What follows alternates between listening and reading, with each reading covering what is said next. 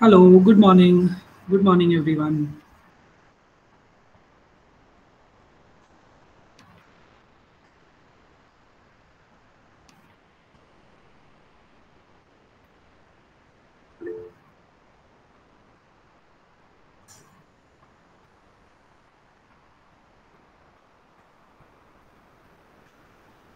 Good morning. Good morning.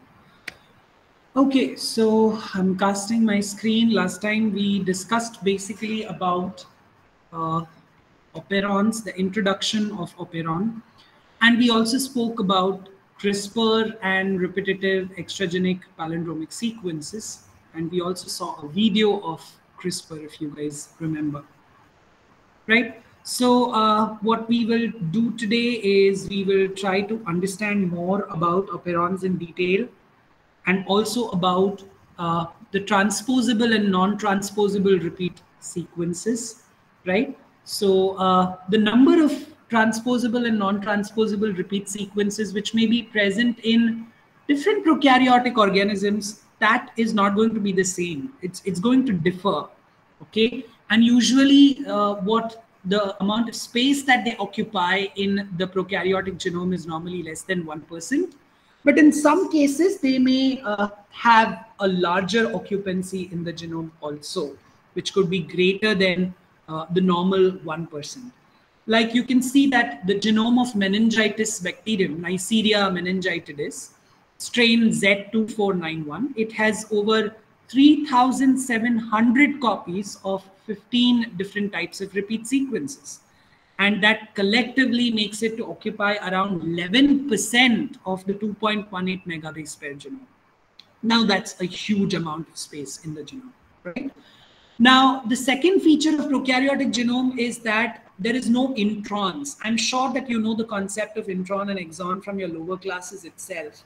You know that exons are basically considered to be the coding sequences, while introns are considered to be the gaps which are filling up the spaces between the exons, right? So there is a scarcity of introns that you see in prokaryotic genomes.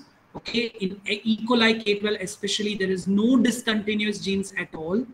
Okay, and introns are very, very uncommon when it comes to bacteria and archaea. Okay, so those you know that have been discovered as spacers they either belong to group 1 group 2 types of introns and they are quite different from the introns that we normally see in the eukaryotic pre-mRNA. When the mRNA is formed in eukaryotes, we know that uh, it's called as the pre-mRNA because it has exons which is spaced by the introns and the, those introns have to be spliced off and the exons have to be linked together and then you call it as the processed mRNA, right? So till then, the mRNA is referred to as a pre-mRNA. So whatever introns you see in case of eukaryotes, they are, uh, you know, way different than what you would see in case of prokaryotes if in case introns are present because introns are normally very uncommon in prokaryotes. Okay, so uh, these group 1 and group 2 types of introns can fold into complex base pair structures that have the ability to self splice themselves so that they can remove themselves from the RNA transcripts. So you don't need any specialized splicing proteins over here. That's one of the uh, characteristic features of intron-like structures that you see in prokaryotic mRNA. Okay. Some of these are also like transposable elements. They're able to move from one position to the another in the genome. And because they are autocatalytic, uh, you know, the insertion of one of these introns into a gene, it uh, does not affect the ability of the gene to be expressed because these zones, they will just splice themselves off and remove them uh, themselves from the, uh, you know, RNA. Even if they are moving from one position to the other, you need not worry. The gene expression is not going to be affected in any way because these ultimately, when the pre-mRNA is formed, they will uh, catalyze their own splicing and they will remove themselves from the RNA transcript. Okay. Uh, now, what is important to notice over here is that these introns are behaving like transposable elements, right? right? And uh, they are able to uh, basically move from one location to the other on the genome, but at the same time, they are not affecting the process of gene expression in any way. Now coming to operons. So we have already discussed last time that operon is nothing but a set of genes which may be involved in the metabolism of or one single type of metabolic pathway. Okay, so all genes which are present in that cluster are going to express components which are required for metabolism of the same component. That's what we refer to as operons. Okay, so operons are a group of genes that are located adjacent to one another in the genome with one or two nucleotides that may be present between the genes. Okay, and all the genes in an operon are expressed as a single unit, which means that if there are three genes in the operon, all three genes are going to be expressed together. So if you want to take example of a typical E. coli operon, then it is lac operon, which is also called as lactose operon, which you have studied in 12th standard also.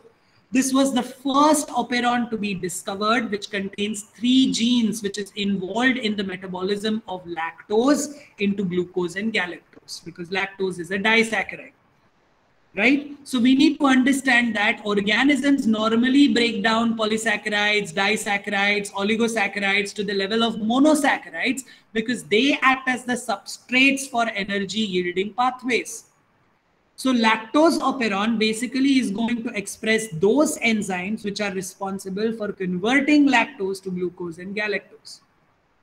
Now, lactose is not a common component in E. coli's natural environment. So if you provide them with lactose, they will take some time before they start utilizing lactose. That's what we call as the lag phase. Why do we call it as the lag phase? Because this is the tenure when even though lactose is present, E. coli is not able to use it. Because E. coli will have to first express the enzymes which are required for metabolism of lactose and only then the lactose metabolism will begin. So when lactose is made available to E. coli, the lac operon is switched on. And if lactose is not available, lac operon is switched off. So please understand that once you make lactose available, lac operon will be switched on. All three genes will be expressed together, okay? And then the lactose metabolism will begin. So this also tells you that how genetic expression is tightly regulated even in bacteria. You do not express any genes until and unless it is essential. And that's why lactose operon becomes an example of an inducible operon. Why do you call it as inducible operon? Because it will express its gene only when lactose is made available. Okay, so LAC-Z, LAC-Y, LAC-A, these are the enzymes. These are the three genes that are present in the lac operon. LAC-Z codes for a very important enzyme, which is beta galactosidase, which is responsible for the actual breakdown of lactose into glucose and galactose. While LAC-Y codes for an enzyme called as lactose permease, now, this particular enzyme is very much essential to transport lactose inside the cell because lactose is present outside in the external environment. So it has to be first taken inside. So to take it inside, you will need this particular enzyme, which you call as lactose permease. Okay, and LAC-A is trans-acetylase. Now, trans-acetylase is basically that enzyme which sees to it that none of the uh, you know galactoside and its derivatives are accumulating in higher concentration inside the cell because that could lead to toxicity. So they do not allow any form of galactosides to accumulate inside the cell due to its high toxicity. So it sees to it that galactosides are eliminated out of the cell regularly to avoid the toxic effects. So beta galactosidase is responsible for actual breakdown of lactose. Lactose permease is responsible for letting the lactose inside the cell because until and unless you let it inside the cell, the metabolism will not begin. And then you have trans-acetylase, which is going to be responsible to ensure that galactosides and its derivatives do not accumulate inside the cell in order to avoid the toxicity. Now, please understand that other forms of operons are repressible operons. Okay, wherein you will see that uh, the gene products normally will try to control the process. Matlab, agar enough of the pathway has been carried out and enough of uh, the product has already been formed, the product will say that now no more production is required. We are available in uh, you know enough concentrations so let us stop the operon from expressing itself. So जैसे inducible operons है ऐसे repressible operon भी होते हैं tryptophan operon which is also called as trip operon is one such example now tryptophan operon is that operon which is consisting of five different genes which code for enzymes which are required for synthesis of tryptophan which is an amino acid which is synthesized from the chorismic acid. So chorismic acid to tryptophan has five steps. It needs five different enzymes. Now, please understand that if there is enough concentration of tryptophan inside the cell, tryptophan itself will block this operon from expressing itself. So this becomes a repressible operon because the product of the process itself is inhibiting the operon from expressing itself. But when tryptophan levels are low, then you will see that the operon is expressed so that enzymes are produced and the biosynthesis of tryptophan can be achieved. But if tryptophan levels are high, then the operon is going to be in the switched off mode. Now let me tell you that there are around 850 different operons which are characterized in K12, E. coli K12 strain till now. 450 of these operons contain two genes each, and the longest of the operon contains around 18 genes. So you can imagine that how systematically nature has designed these organisms to function in an effective way. So this is an image of tryptophan operon wherein you can see that there is trip A, B, C, D, E gene, all of which codes for enzymes for converting chorismic acid into a very essential amino acid, which is tryptophan.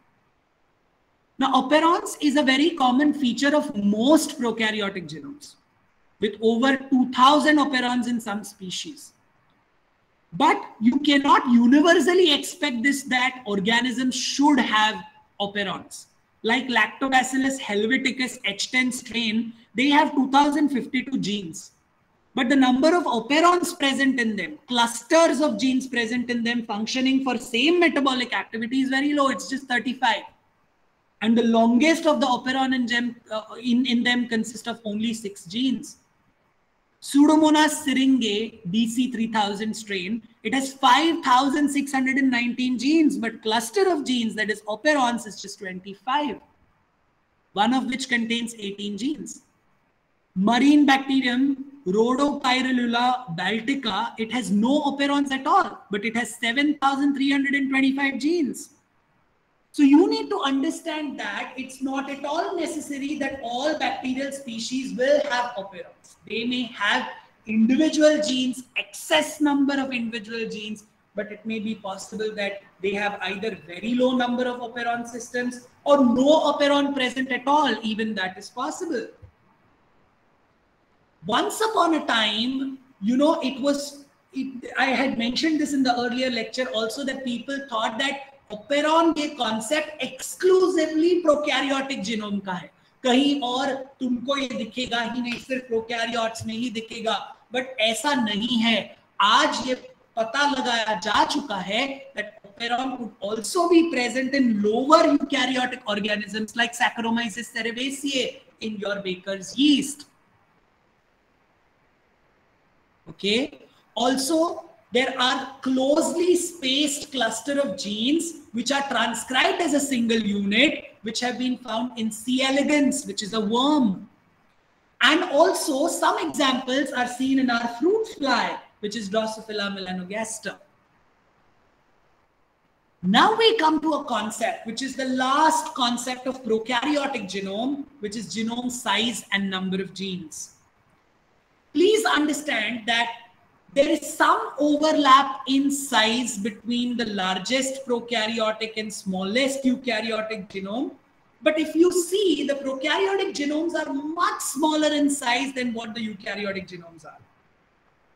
E. coli K12 का example ले लो उसका genome 4.64 megabase pairs it is two-fifth the size of the yeast genome you can imagine how huge yeast genome would be and how small E. coli genome is going to be and it has around 4,315 genes. Most of the prokaryotic genome, they are less than 5 megabase pairs in size.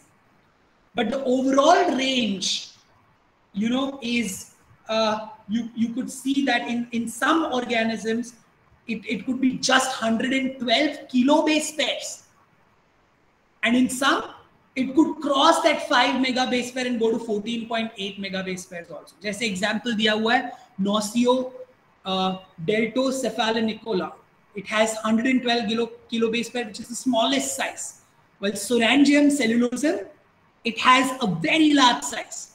So though majority of them are in that size range of lesser than 5 MB, there are exceptions, is what we are trying to say over here. Now have a look at this. Very interesting. You see the size of the genome and the number of genes present. For Nasuia, you can see 0.11 MB is the size, 169 genes. Mycoplasma, you can see 0.58 MB, 559 genes. Streptococcus pneumoniae 2 MB, 2228 genes. 4 MB genome in Vibrio cholerae, 4113 genes. 4.41 in Mycobacterium tuberculosis, 4096 genes. E. coli K12 4.64 megabase pairs, 4,315 genes. Pseudomonas aeruginosa, you can see 6.26, 5,807 genes. And Sorangium cellulosum, 14.78 megabase pairs, 10,473 genes. Archaea, you have Methanocaldococcus jannaschii, which is 1.74 MB, 1875 genes, 2.18 MB in Archaeoglobus uh, fulgidus, 2515 genes. So you can see that as the size of the genome is increasing, the number of genes that you are seeing there is also increasing. Now, the compact organization of E. coli K12 genome, with the genes making up 89% of the genome, let me tell you that the average gene density in any genome is 87%. The rest is going to be junk genes. I mean, we don't know what they do as yet. But the known genes, they tend to occupy average 87% of the genome size. This means that you can say that the genome size is proportional to the number of genes present because the junk DNA is very low. This may not be the case with eukaryotes. Eukaryotes, may there will be a lot of junk. Okay, but the genome size is going to be proportional to the number of genes, at least in case of prokaryotes. The number of genes vary over an extensive range, and that obviously reflects on what kind of ecological niche the organism lives in because जिस kind के niche में वो रहता है और जितना काम उसको करना पड़ेगा उसके हिसाब से उसके पास नंबर ऑफ़ जीन्स होंगे So if an organism is, has to survive in a stressful environment, it will have a lot of genes which will help it deal with the stressful conditions. So the largest genomes tend to belong to free living species that are found in soil. The environment that you know normally has a lot of physical and biological conditions and the organisms are expected to respond to these conditions, they obviously will have n number of genes present in them. So their genome is going to be largest. So Sorangium cellulosum is the best example. It has 10,400 protein coding genes.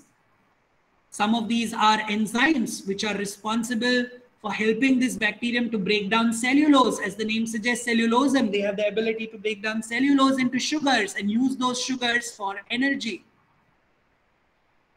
Some of these genes also code for enzymes that will synthesize antibacterial, antifungal compounds so that it can compete with other organisms in the soil ecosystem.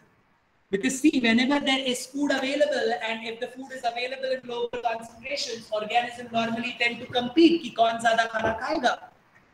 And इस चक्कर में वो अपने competitors को मार डालने की कोशिश करते हैं. कैसे मारेंगे? By producing antibacterial and antifungal agents so that the others will not be able to survive and they will get all the resources that is available. There have to be genes which also help them to code for enzymes which are responsible for producing these antibacterial and antifungal agents. There are also genes for proteins which are involved in cell-to-cell -cell communication, which enable the bacteria to migrate, to swarm, to form fruiting bodies, to produce resistant spores, right? And you will see that the smallest genome, they belong to organisms which act as parasites. And it is obvious, no, because if a bacteria is going to act as a parasite, it doesn't have to metabolize anything. It's going to get everything ready-made from the host. So they don't have, they, there is no necessity of having, you know, a lot of genes because they are going to get most of the products in the broken down format. It's best for them, right? So if you talk about Nasuia deltocephalinicola, which is an endosymbiont of leaf hopper, which is an insect. So it lives in the insect's abdomen within some specialized organelles, within some specialized structures. So there these organisms will be able to, uh, you know, survive as a parasite okay, and utilize all that is being metabolized by the leaf hopper. But in return, these bacteria may also provide the leaf hopper with some essential nutrients. Like in this case, this bacteria provides two amino acids that Nasuia can produce, but the insects cannot produce. They will have to obtain it from their diet. So Nasuia can help them by providing with these two amino acids, which the insect cannot produce on its own. So it could be a give and take relationship okay while in return the bacteria is going to get nutrient from the insect right so we need to understand that it's a give and take relationship so Nasuia's genome is very small because it's acting as a parasite. It's like just 137 protein coding genes. The majority of which are actually involved in some essential functions like DNA replication, transcription, translation, but not for metabolism because it is getting everything ready made from its host so उसके survival के लिए उसके multiplication के लिए जो enzyme जरूरी है सिर्फ उतने ही जीन्स उसके जिनोम में प्रेजेंट होने वाले are you understanding all this are you with me any questions till this point please feel free to ask Can I see a yes or no in the chat box at least so that I know that you are with me and there are no questions? If no questions, then type no.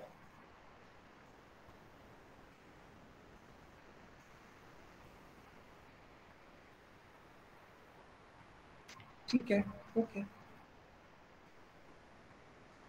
Now, you know, because of genome sequencing technology that has come in, the genome of different prokaryotes obviously has been sequenced and people have started comparing it right?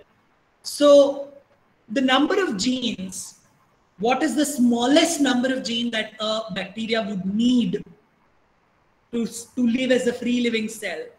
This can be identified by comparison by you know by establishing a comparison between the genome of different prokaryotic organisms. So mycoplasma genitalium it's a free living organism and it is seen that the number of genes that it has is only 476. Okay. And what they did was they introduced mutation in some of these genes and they saw that only actually 382 genes were essential out of the 476 genes for this organism to survive 382 okay so rest of almost, you know, uh, a hundred set of genes were actually not needed for the survival.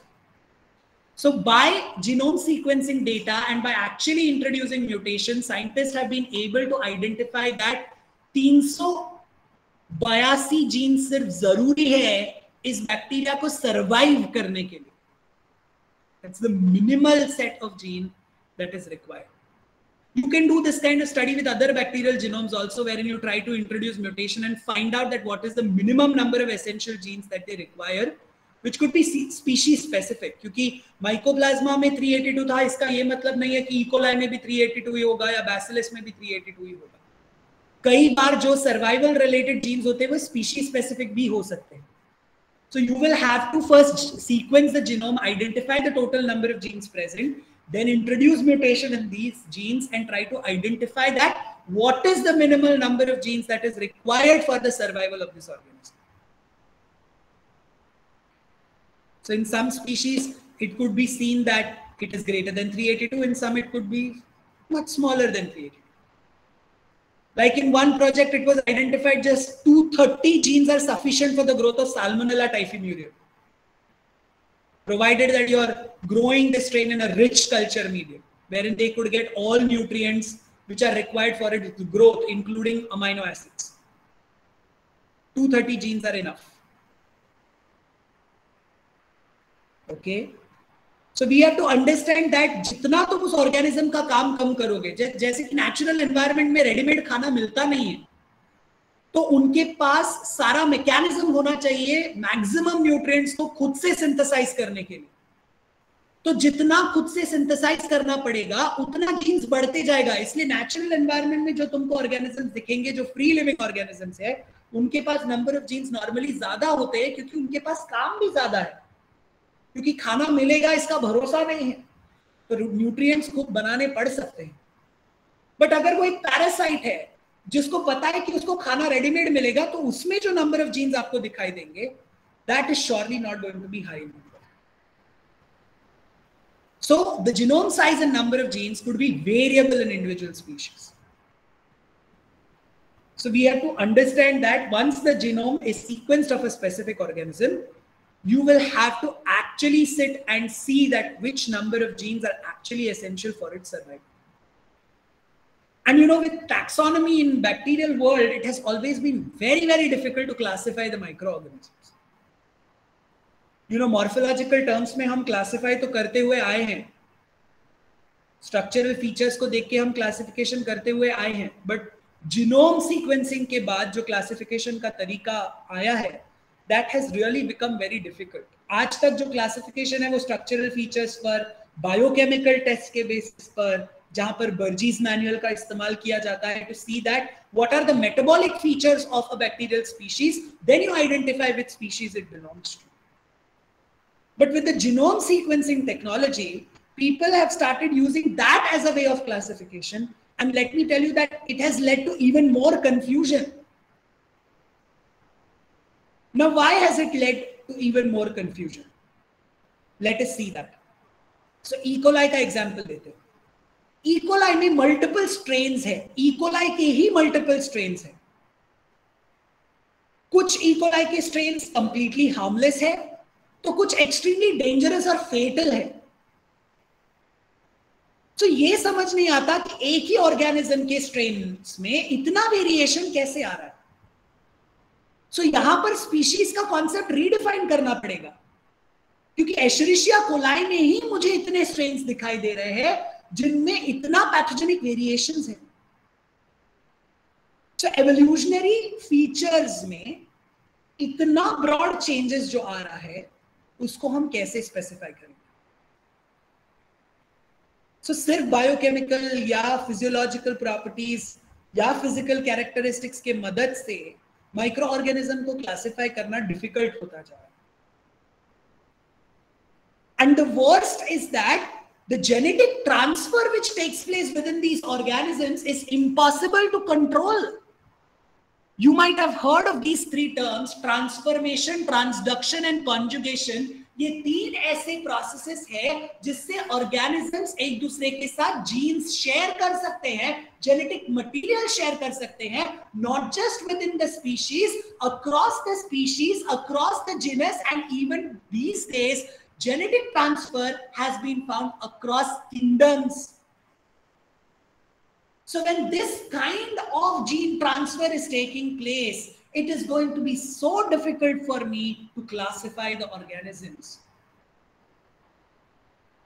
And with genome sequencing, it has become even more difficult because we find so many variety of genes. Some of them are similar between organisms and some of them are distinct. And within the same organism, I take two different strains of E. coli. I see that again, there are different sets of genes. So classification becomes a headache. So two strains of Helicobacter pylori, which causes gastric ulcers and other diseases of the human digestive tract, when it was compared in United Kingdom and United States, it was seen that the genome was 1.67 and 1.64 MB respectively, not very uh, you know, not very great difference in the genome size. The initial annotations identified 1,552 genes in the larger genome and 1,495 in the smaller one. With 1,406 genes being present in both the strains, which means that 6 to 9% of the gene content was unique to each of these strains. Rest of the genome were similar genes. Now let us discuss about E. coli K12 and E. coli O157H7. Now E. coli K12 is a laboratory strain, completely harmless. While E. coli O157H7 is a pathogenic, it's a lethal strain. Could also lead to hemorrhage. Now the length of these two genomes is significantly different for K12, it is 4.64 MB, and for O157H7, it is 5.59. Lot of difference in size. Extra DNA is seen in pathogenic strain, which means that it codes for virulence factors through these extra genes which it possesses. Now, these extra genes, which are called, which we are calling as O islands, they contain 1,300 genes which are not present in K12. Now, that's a huge number of genes which we are coding, which we, which we are mentioning over here, which are present in the pathogenic strain. We call those genes as O islands, which are absent in K12. These genes are coding for toxins and other virulence proteins which are involved in pathogenic properties in establishing an infection. Right? Now, please understand that similarly, even K12 has extra genes, 234 segments of its own unique DNA. Though they are smaller than the O islands, but they are containing around 500 unique genes, which is present just in K12 and not in O157 itself. So this makes us understand that each of these strains have their own unique strain-specific genes. So for O157H7, it's around 25% of the genome, but for K12, it's 12% of the genome, which, which is strain-specific genes, which you will not find in the other strain. It's only found in there. So this shows that there is more variation,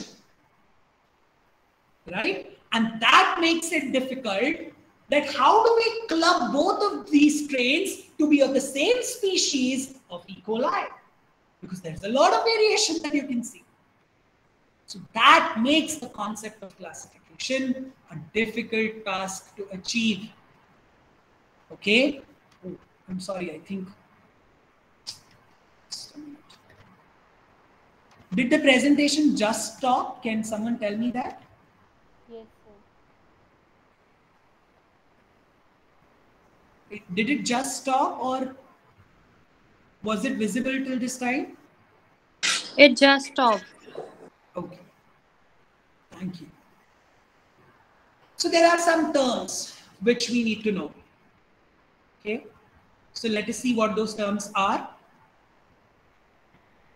So the difference in genome size and gene content, which occurs within a prokaryotic species, that has led to this concept of pangenome.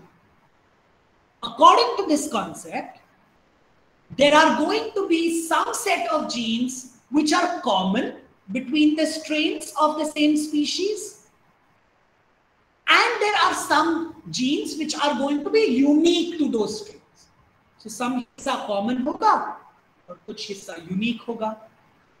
So the core genome is that set of genes which is possessed by all members of the species, which means they are common set of genes. So we call it as genome. तो उस species का कोई भी strain हो उनके पास वो gene होगा ही while those additional genes which are unique, which are distinct to that particular strain only, you call it as accessory genome. So you can see here in this particular figure, you see that the common set of genes is shown at the center because it is shared by all the strains of that species. We call it as the core genome and their unique genes are shown out because they are distinct to them, they are unique to them. We call it as accessory genome. So using the core gene genome, you can identify if these strains are belonging to this species or not. And using the accessory genome, you can identify the strain. So core genome is responsible for helping you to identify the species while the accessory genome is responsible for identifying the strain. So using the basic biochemical tests, cellular activities, which are coded by for the nor normal core genome genes, you can identify the particular species But accessory genome normally tells you about the complete biological capability of the species and it's going to help you identify the strain. So जो conventional view था genome का आज तक that has been redefined with this pangenome concept. And first pangenome concept was described in an organism called as Streptococcus agalactiae. This organism comes under the category of lactic acid bacteria. It is found in the human GI and genitourinary tract, that is the gastrointestinal tract and the genitourinary tract. Some of these are completely harmless strains, while some of these are very pathogenic strains. Pathogenic strains can cause severe urinary infections in adults, and in newborn children, it can cause some life-threatening infections, which means it could be fatal. So a comparison of genome sequences of eight isolates of Streptococcus agalactiae revealed a pan genome of 2700 genes 2700 genes जिसमें से 1800 gene जो है वो core genome का है और 900 जो है that is making up the accessory genes within the accessory genes 260 were singleton genes which means that these are those genes which are found in one strain and the remainder were unique for the two or more strains. 260 were unique to one single type of strain within the accessory genes. वो 900 में से 260 jeans एक specific Streptococcus एगेलेक्टिए strain के लिए unique थे और बाकी के वेर सीन इन टू और more other strains some will be seen in combination but 260 of those genes were unique only to one strain not found in any other strain so it was clear that you know this is going to this kind of data that is generated as to how many number of genes are there in core and accessory genome that helps you to have a proper data which helps you to identify the species and strain effectively. Okay. Now,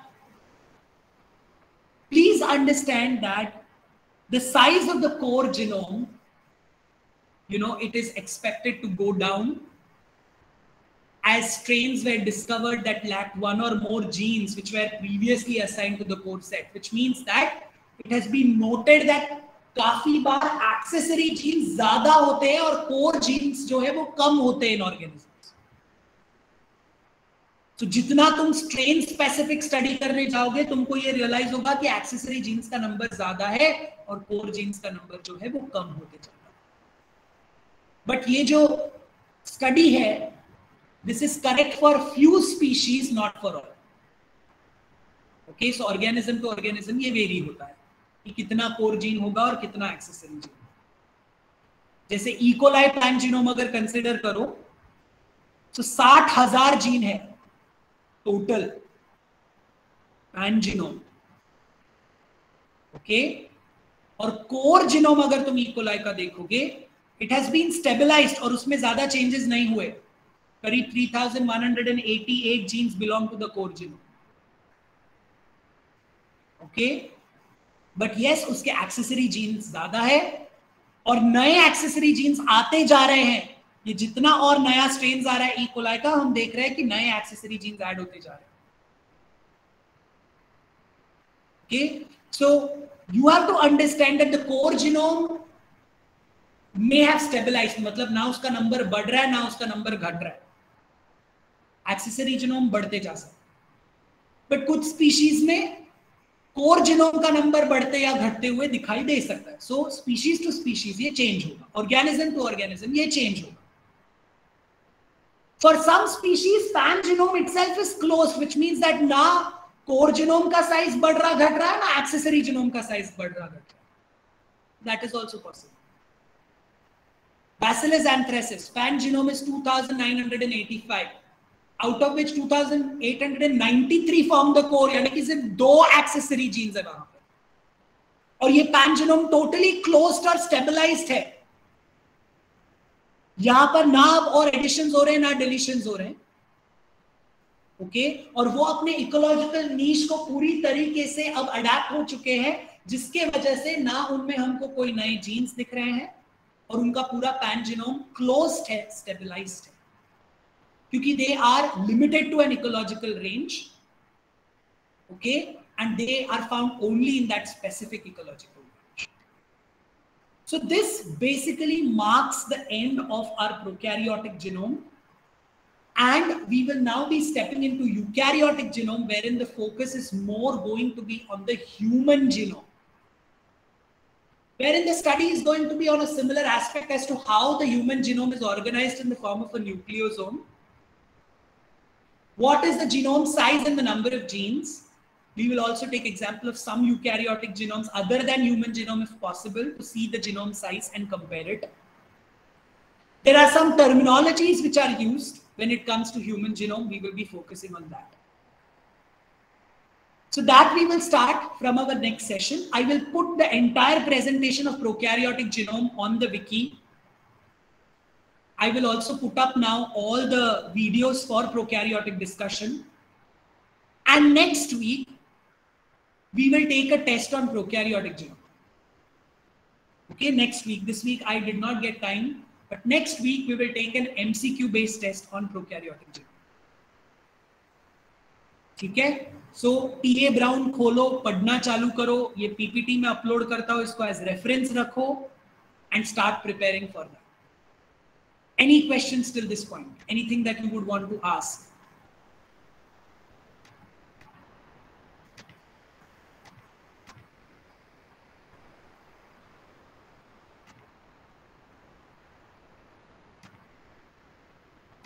Okay, then we can stop at this point. Please start reading.